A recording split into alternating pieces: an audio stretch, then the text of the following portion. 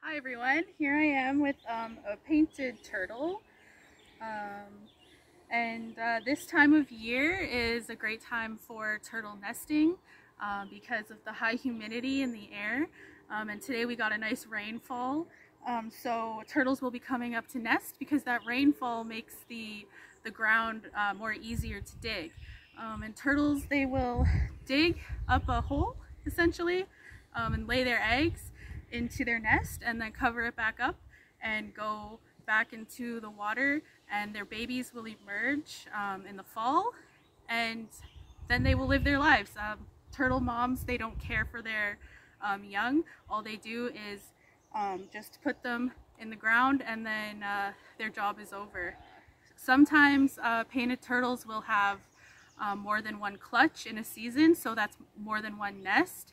Um, so uh, when turtles lay a nest um, at the beginning of the spring, or sorry, of the summer, kind of like right now, um, that, that nest will emerge in the fall.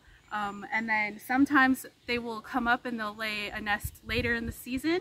And um, those eggs actually, the hatchlings will uh, hatch underground, uh, but they'll overwinter and then they'll emerge in the springtime. Um, so sometimes you'll see uh, young turtles hatchlings in the springtime emerging. Um, and those were turtles that were in the ground all winter.